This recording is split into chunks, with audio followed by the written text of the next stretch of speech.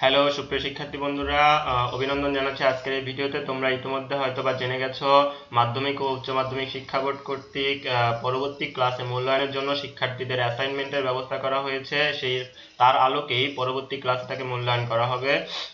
তো এখন সেই অ্যাসাইনমেন্টের নির্দেশনা তারপর পরে হচ্ছে সেখানকার যাবতীয় বিষয়বস্তু সিলেবাস কীভাবে অ্যাসাইনমেন্ট করতে হবে সব কিছু আমাদের হচ্ছে এই যে মাধ্যমিক ও উচ্চ মাধ্যমিক শিক্ষা বোর্ডের ওয়েবসাইটে গেলেই পাওয়া যাবে। এইটার জন্য তোমরা গুগলে সার্চ করতে পারো।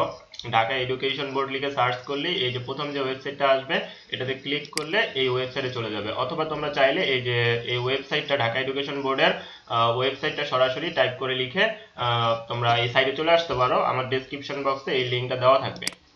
আচ্ছা এখানে আসতে তোমরা একটু নিচের দিকে স্ক্রল করলে যে জেএসসি কর্নারের মধ্যে দেখো, ষষ্ঠ থেকে নবম শ্রেণির পূর্ণবিন্যাসকৃত পাঠ্যসূচির আলোকে মূল্যায়ন নির্দেশিকা। যদি এইখানে একটা ক্লিক করি তাহলে আমরা একটা পিডিএফ ফাইল পাবো। এই পিডিএফ ফাইলের মধ্যে আমাদের আসলে যাবতীয় ইনফরমেশন দেওয়া আছে।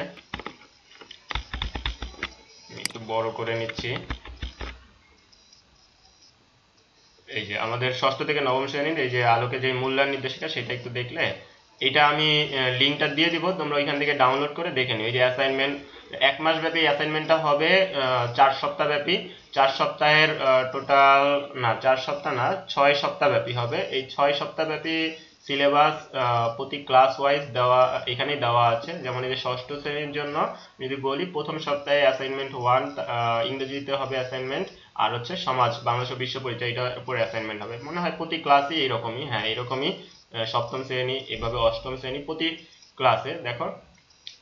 এইভাবে হচ্ছে প্রথম সপ্তাহ, দ্বিতীয় সপ্তাহে আবার অন্য সাবজেক্টগুলো তৃতীয় সপ্তাহে, চতুর্থ, পঞ্চম, ষষ্ঠ সপ্তাহে, প্রতি সপ্তাহে এখানে দেওয়া আছে।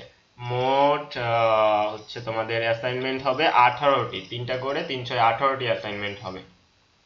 বুঝতেই পারতেছো? এটা খুবই গুরুত্বপূর্ণ। নিচে অ্যাসাইনমেন্টের সিলেবাস দেওয়া আছে। যেমন এটা ষষ্ঠ শ্রেণির সিলেবাস তোমাদের স্কুল থেকে দিয়ে দিবে অথবা তোমরা এটা ডাউনলোড করে নিতে পারো। যারা এখনও জানো না, তারা আজকের এই ভিডিও দেখার পর অবশ্যই স্কুলের সাথে যোগাযোগ করবে এবং আমাদের সেকেন্ড ভিডিওতে অ্যাসাইনমেন্ট কীভাবে আকর্ষণীয় করতে হয়, কীভাবে তোমার টিচার তোমাকে অনেক বেশি ভালো মূল্যায়ন করবে একটা আকর্ষণীয় অ্যাসাইনমেন্ট তৈরি করার যাবতীয় নিয়মাবলী, খুব চমৎকার নিয়মাবলী তোমাদেরকে দেওয়া হবে।